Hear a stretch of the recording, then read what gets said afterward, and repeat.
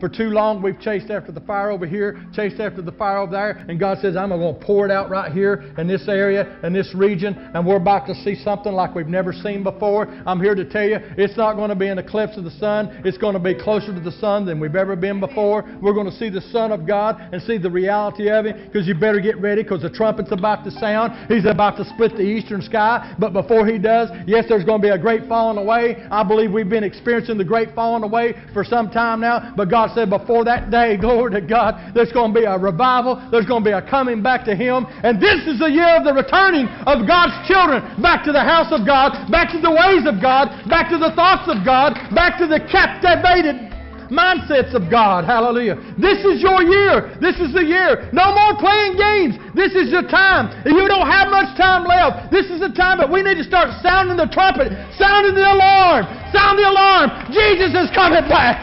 Jesus is coming back.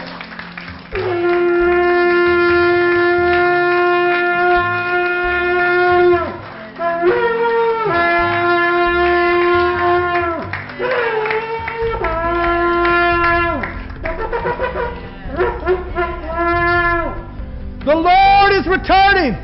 Sound the alarm. He's coming back. Get ready. Get ready. Get ready. Get your heart ready. Purify yourselves. Get out. Get out of your captivity.